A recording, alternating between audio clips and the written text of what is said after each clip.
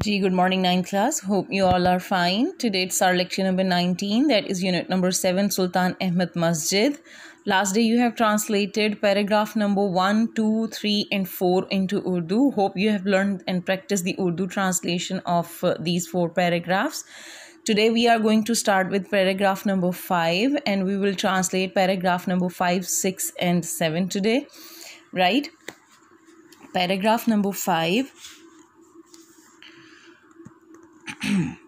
the masjid has a spacious forecourt surrounded by a continuous vaulted arcade. The masjid masjid has a spacious एक वसी या खुला या कुशादा फोर कोट फोर का मतलब होता है सामने और कोट का मतलब होता है सहन तो सामने वाला सहन मस्जिद के सामने वाला सहन कुशादा है या मस्जिद के सामने वाला सहन वसी या कुशादा है सराउंडेड बाय जो घिरा हुआ है अ कंटिन्यूस एक मुसलसल वॉल्टेड मेहराबी आर्केड राहदारी मीन्स गुजरने की जगह राइट और vaulted like arch art shape like this right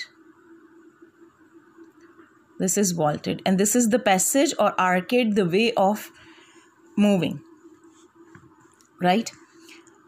मस्जिद के सामने वाला सहन वसी और कुशादा है, जो कि एक मुसलसल महराबी राहदारी से घिरा हुआ है।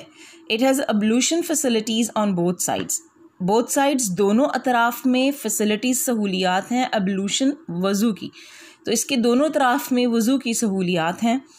इन द सेंटर मरकज़ में देर इज़ अ फाउंटेन एक फवारा है विच इज़ रॉदर समॉल जो नस्बता छोटा है, इन कंट्रास्ट मुकाबले में विद द मैग्नीट्यूड वसत के ऑफ़ द कोर्ट यार्ड सहन के। मरकज़ में एक फवारा है, जो कि सहन की वसत के मुकाबले में नस्बता या कदरे छोटा है।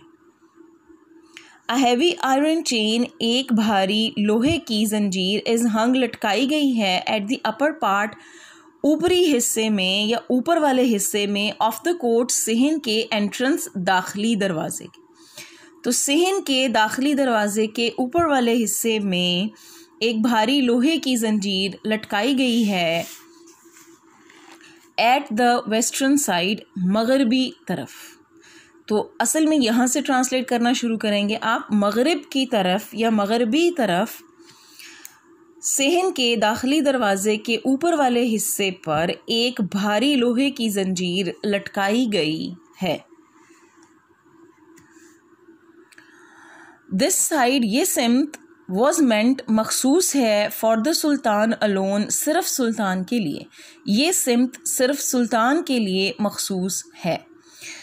The chain was put there जंजीर वहाँ लटकाई गई है सो दैट ताकि सुल्तान had to lower his head सुल्तान को अपना सर झुकाना पड़े।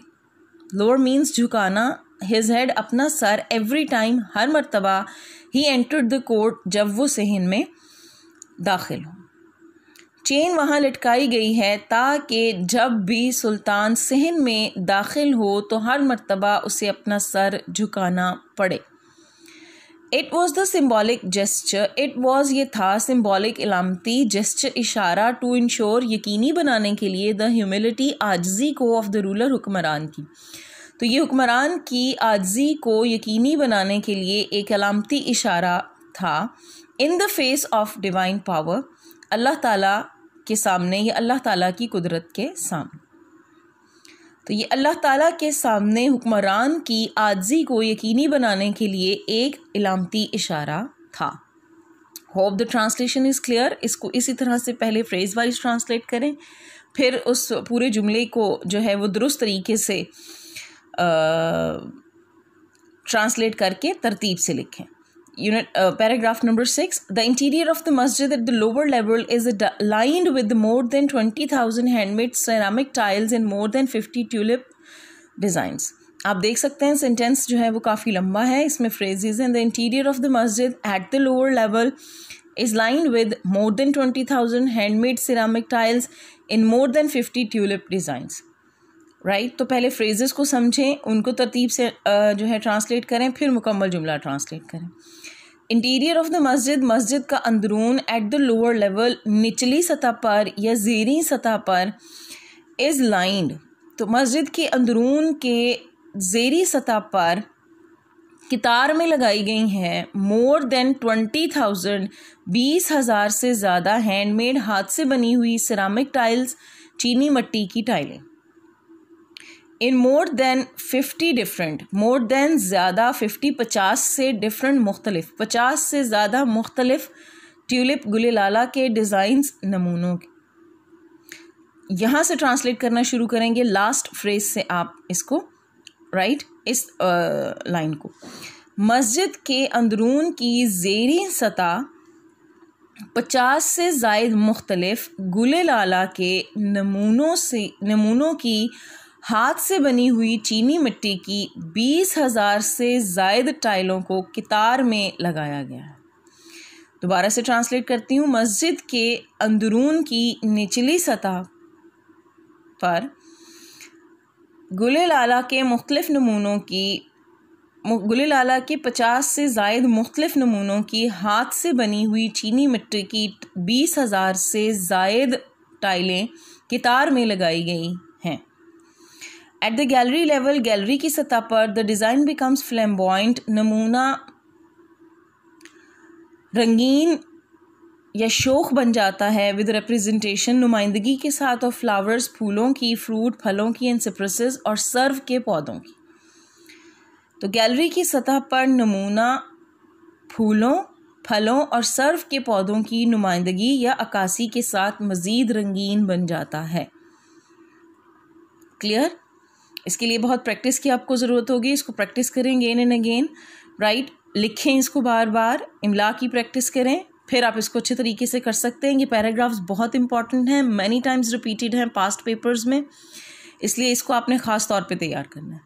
The upper level of the interior is adorned with blue paint upper बालाई या ऊपर की सतह ऑफ़ द इंटीरियर अंदरून की। अंदरून की बालाई सतह इज़ अडॉर्न विद सजाई गई है ब्लू पेंट नीले रोगन से। अंदरून के ऊपरी सतह या बलाई सतह को नीले रोगन से सजाया गया है। More than 200 stained glass windows with intricate design allow natural light to brighten up its interior and the chandeliers further illuminated with the glow ये भी सेंटेंस काफ़ी लंबा है, इसलिए इसकी ट्रांसलेशन को ज़रा गौर से देखें। More than two hundred stained glass windows दो सौ से जायद रंगदार स्टेन का मतलब रंगी हुई, रंगदार, दागदार ग्लास विंडोज़ शीशे की खिड़कियाँ विद इंट्रीकेट डिज़ाइंस पेचीदा नमूनों के साथ अलाउ आने देती हैं या इजाज़त देती हैं नेचुरल राइट कुदरती रोशनी को टू ब्राइटन अप चमकदार बनाने के लिए मुनवर करने के लिए इट्स इंटीरियर इसके अंदरून को राइट right? तो मस्जिद के अंदरून को कुदरती रोशनी से मुनवर करने के लिए 200 से जायद रंगदार शीशे की पेचीदा नमूनों वाली खिड़कियाँ कुदरती रोशनी को अंदर आने देती हैं। तो इसके अंदरून को मुनवर करने के लिए 200 से जायद रंगदार शीशे की पेचीदा नमूनों वाली खिड़कियाँ कुदरती रोशनी को अंदर आने देती हैं।